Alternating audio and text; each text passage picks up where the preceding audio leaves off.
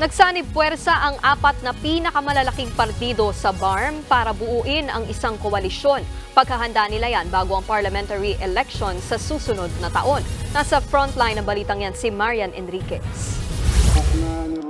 Sa pambihirang pagkakataon, nagsama-sama kahapon sa Maimbong Sulu ang mga opisyal ng iba't ibang probinsya sa Bangsamoro Autonomous Region in Muslim Mindanao o BARM. Yan ay para buuin ang BARM Grand Coalition para sa nalalapit na parliamentary election sa 2025. Una, gusto namin maging inclusive yung BARM government. Hindi lang dapat sa MNLF, hindi lang dapat sa MILF. O hindi lang sa tribo ng Maguindanao dahil marami ring left out. Hashtag unity, inclusive. Sa binuong koalisyon, magkakasama na apat na malalaking partido. Kabilang dyan ang Al-Itihad mula sa Maguindanao, SIAP o Serbisyong Inklusibo Alyansang Progresibo ng Lanao del Sur, sa Laam na partido ng Sulu at ang partido ng Basilan na Bangsamoro People Party. Kaya ang dating magkalaban na sina Basilan Representative Mujib Hataman at Sulu Governor Abdusa Kurtan magkaalyado na ngayon. Kami ho ni Gobsa Kurtan, alam nyo ang kwento namin. Parang Tom and Jerry. Mag-away po ngayon, bukas magkaibigan kami. Kung magtaka kayo, bakit magkakasama kami ngayon?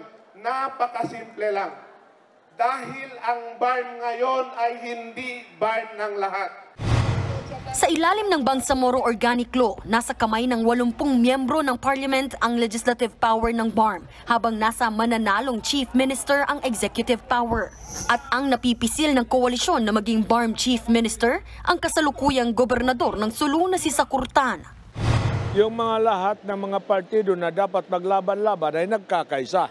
Pare-pareho ang ah, laban dito at ah, hindi lamang yung mga governors, congressmen, kung hindi, pati yung mga MNLF, the Moro National Liberation Front, Suportado naman ni Lanao del Sur Governor Mamintal Bombit Adyong at Maguindanao del Sur Governor Mariam Mangudadato ang koalisyon.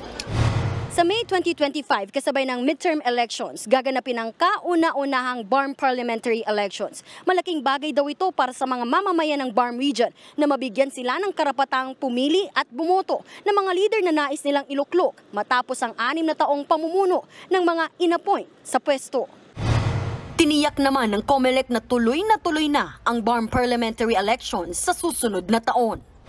Ang COMELEC ay ah, ay talagang na- napakataas ang aming ah, paghahanda para sa Bangsamoro election. Binabangga namin dalawang balota tayo sa Bangsamoro. Inaayos na namin ang listahan ng mga botante. Nagbabalita mula sa Frontline, Marian Enriquez, News 5. Mga kapatid, Nikki de Guzman po, iba na ang may alam at may pakialam sa panahon ngayon. Para sa tuloy-tuloy na balitaan sa Frontline kahit weekend, mag-follow at mag-subscribe sa social media pages ng News 5.